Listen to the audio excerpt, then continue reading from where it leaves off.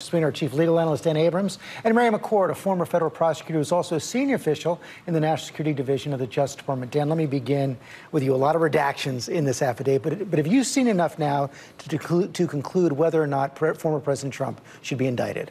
Uh, no, not in terms of whether he should be indicted or whether he will be indicted. He could be indicted. There's definitely enough here to potentially indict him. When you look at the words of the statutes and you look at the actions, there definitely could be an indictment here. The most important part that's redacted, though, relates to the obstruction.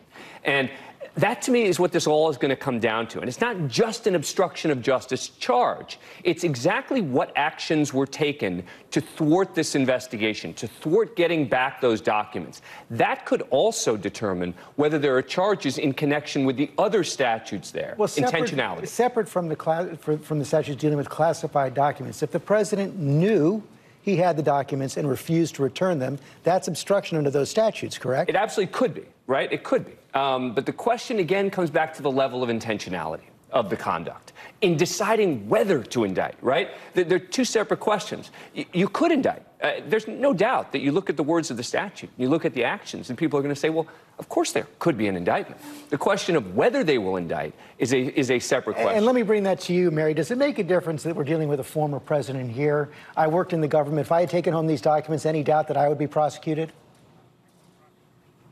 Uh, no doubt you would have been prosecuted based on assuming intentionality, as Dan has said, and I would have been too um, uh, if I had taken these kind of documents when I left the department. But I do think that.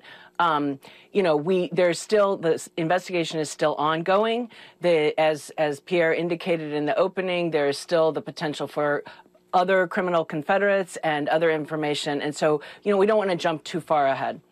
It's a I do think it matters that this is the president, though. It's yeah, it, it, I'm sorry? No, go, go ahead. Finish your point.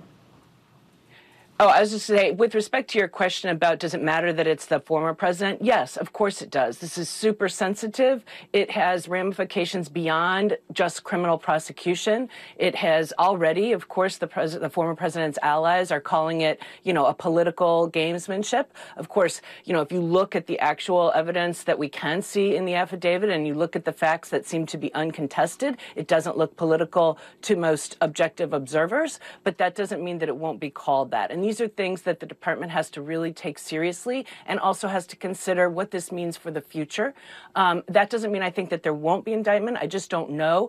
Uh, but I think it, the fact that this is a former president is very significant. It's also significant that there's a national security interest here. Well, that's what I wanted to ask you about. Yeah, I wanted to ask you about that. It's a crime to keep any government documents after you leave government service. But what about the fact that so many of them were labeled, were classified, so many of them were even top secret, 25 documents top secret? We've heard this argument from some of the president's allies. His lawyers didn't make it. They had this blanket authority to declassify all documents. Well, two points on that. One is that in the unredacted portions of the affidavit, we see that that argument was, uh, some of that argument was presented to the judge before he signed the search warrant. The argument was made that the president has the authority uh, to declassify documents, that because there was an attached letter from the president's lawyer advising the Department of Justice of that and asking the Department of Justice to present that to the judge. And then there was also um, a reference to Kash Patel, one of the former president's senior aides, saying he had, in fact, declassified to everything. So that argument, in short, was presented to the judge who still signed the warrant. But to your to your other point, there is a whole separate interest here in protecting national security, and that's why the director of national intelligence announced uh, a day or two ago that the intelligence community will launch a full assessment of the national security potential and national security harm from these documents. That means not only uh, how sensitive are they if they were to get into the hands of people unauthorized to have them, it means do we have confidential human sources at risk? Do we have intelligent co- intelligence collection methods at risk that our adversaries might now be able to, to learn about if they obtain these documents? So, quite apart from the criminal investigation, there's an enormous interest in figuring out who had access to these. This is a this is a, a location where apparently these this national defense information was stored willy-nilly in various places in at Mar-a-Lago, places that potentially visitors to Mar-a-Lago, including foreign visitors, could have had access. Mary McCord, Dan Abrams, thanks very much. Hi, everyone. George Stephanopoulos here. Thanks for checking out the ABC News YouTube channel. If you'd like to get more videos, show highlights, and watch live event coverage, click on the right over here to subscribe to our channel. And don't forget to download the ABC News app for breaking news alerts. Thanks for watching.